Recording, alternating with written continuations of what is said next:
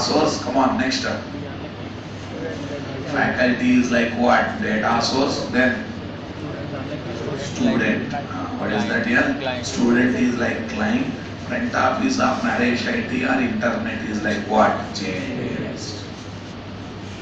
Student comes, approaches either front office of Naresh IT, inquiry cell of Naresh IT, or, or, come on, tell me, uh, internet, gets faculty details or reference. Using that he approaches the faculty and through faculty you will start accessing what? Each course that is there in the course pool.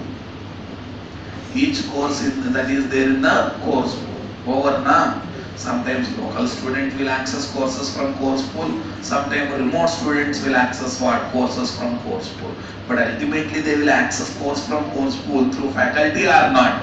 Uh, that explanation purpose, student is like client who want to use connection object from connection pool. Faculty is like data source and connection pool is like course pool. Course pool is like connection pool. Front office and internet is like what? Story is super or not? Story is interesting or not? Come on. Are you enjoying this point? Really thoroughly enjoyed this point or not? So this is about what? Dealing with the server managed JDBC connection.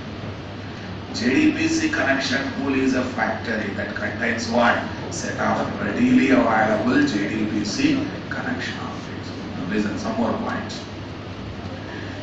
In a company environment, for one project, only one person, senior developer or project leader, creates the connection pool, creates the data source, keeps in J&A registry of the server. Remaining team members will use it. Don't think that everyone will create the connection.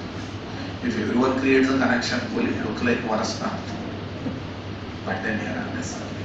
In one server, we can have one connection pool or more connection pool created for one database software or multiple database software. That is also possible. Possible or not? Come on.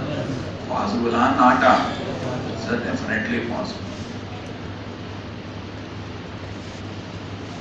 Definitely possible. Say something here. Next.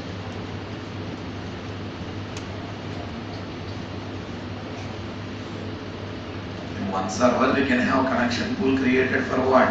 One database software or for what? Multiple database software. Are you understanding my point on it? Yes. So, the full and final conclusion from my side is connection pool is very important. No one prefers creating direct JDBC connection object in real time. How everyone prefers working with one Connection pool based connection object. Why? Because connection pool is having so many advantages. So if I put uh, in the form of diagram, it looks something like this. Let's see first diagram. This is connection pool here.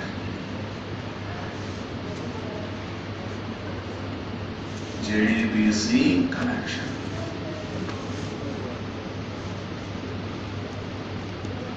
Uh, JDBC connection pool having lot of connection object, connection object, connection object, connection object, connection object, connection object, connection object. This is my one data source object. What object?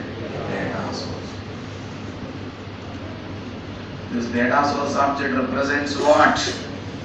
JDBC connection.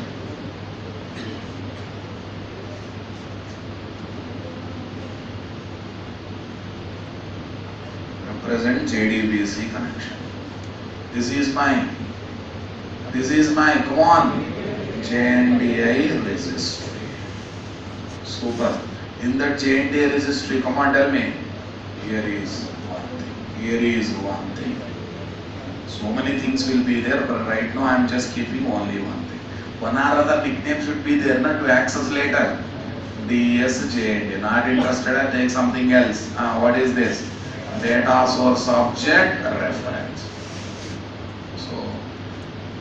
Represents. What was represents. Super. And data source object will be placed in what? JNDI.